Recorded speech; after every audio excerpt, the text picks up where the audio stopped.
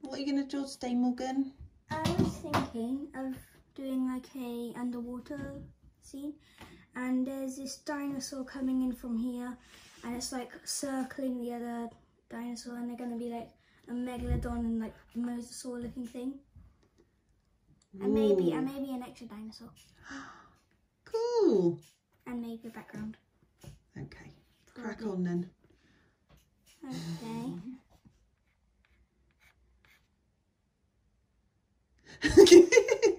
I'll, I'll just, I'll just leave. go just- I'll just go leave. away I'll just leave.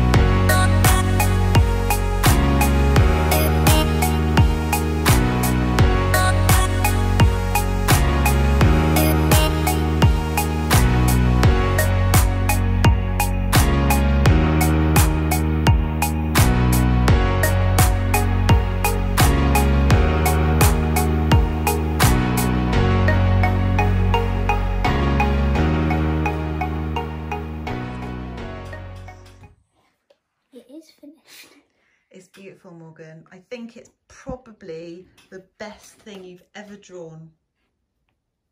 I absolutely love it. I like him. Yeah, what is it? S- Uh, mm, it's a hybrid aquatic dinosaur. And I added a turtle because I like turtles. I And named him that? Popcorn. What's that? Is that a shark? It's the weird looking megalodon. What made you want to draw those things then? Because there's this game I really like and the dinosaurs in there is really cool. A bunch of hybrid aquatics. So it's it's Exactly. based on dinosaurs, but they're like hybrids. There. Yes. I love it, darling. You're really proud of yourself. Uh-huh. Yeah. I like the turtle. And the bubbles. We're gonna show all your friends. So say hi. Hi, friends.